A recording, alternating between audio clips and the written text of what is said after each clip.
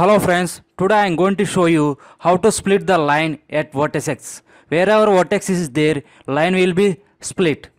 So I will show.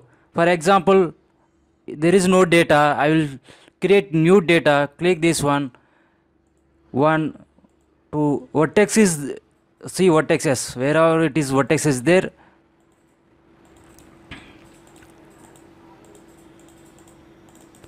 see when you double click this one.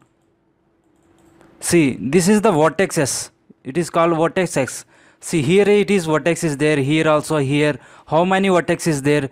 If you go to click this one sketch properties it will show. Now you can calculate 9 or 10 11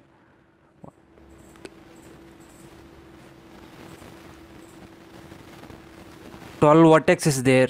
So in this one see we will we have the tool spl, uh, split at line. The tool we will use it will split it wherever it is vertex is there here it is split. Okay now we'll see first output. So now i am going to save and stop it now here go to search button. Here type split line. Enter see here. Split line at vertices. Click and click that one double click. Here input feature class. So i will give this one. We have to select output path. Give the name. Say ok click ok now we will wait for the message. See once it's completed here it is showing message and i added so i will go to i will change the color.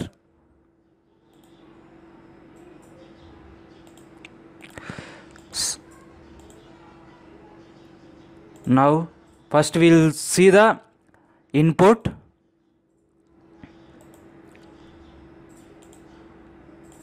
Start rating see when you select this one it will showing a single line.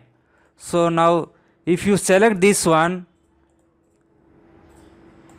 if you select this one it will see splitted. Wherever it is vertex is there automatically splitted to line. See when you this one select i will change the color. Now i will move to this uh, up. I'll give this color thickness. This one i will change this color also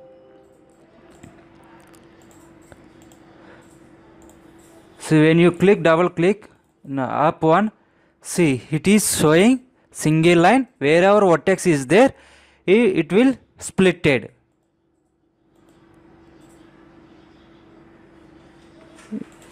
See this one splitted. So like this we can split line at vertices okay guys?